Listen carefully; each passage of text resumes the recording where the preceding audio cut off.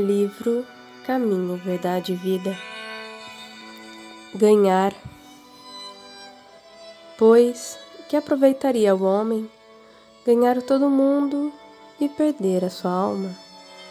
Perguntou Jesus. Marcos capítulo 8, versículo 36. As criaturas terrestres, de modo geral, ainda não aprenderam a ganhar.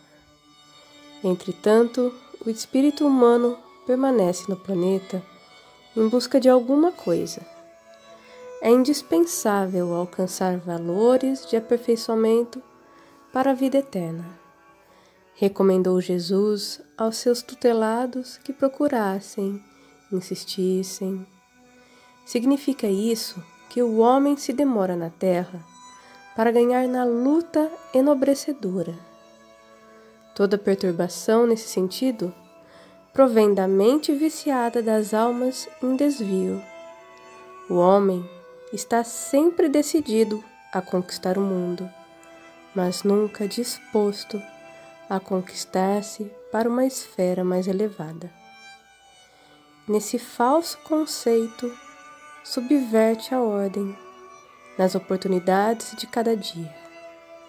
Se Deus lhe concede bastante saúde física, costuma usá-la na aquisição da doença destruidora. Se consegue juntar possibilidades financeiras, tenta assambarcar os interesses alheios. O Mestre Divino não recomendou que a alma humana deva movimentar-se despida de objetivos e aspirações de ganho. Salientou apenas que o homem necessita conhecer o que procura, que espécie de lucros deseja, a que fins se propõe em suas atividades terrestres.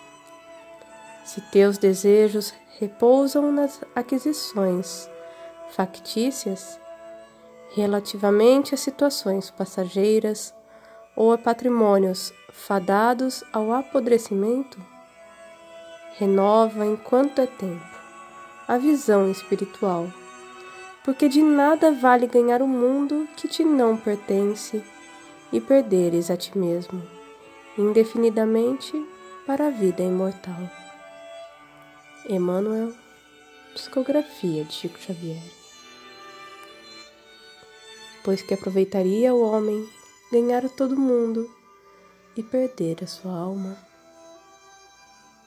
Lembra, é possível fazer o bem sempre, como e onde estiveres. Abençoado seja, graças a Deus.